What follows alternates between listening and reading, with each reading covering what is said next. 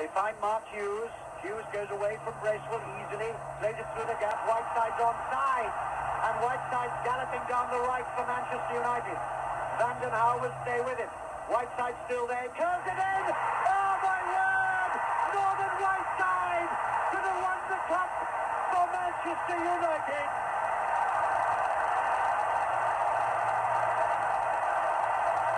The young Irishman took the ball down the right. He was all on his own. He did a little Belfast shuffle.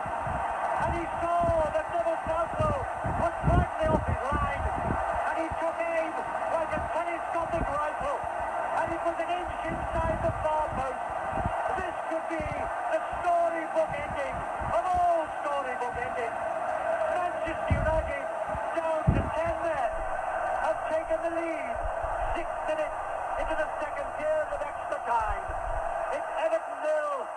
Manchester United one with Norman Whiteside.